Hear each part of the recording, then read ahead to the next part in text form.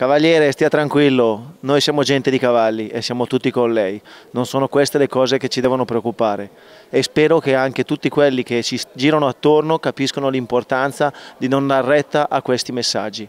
Ciao!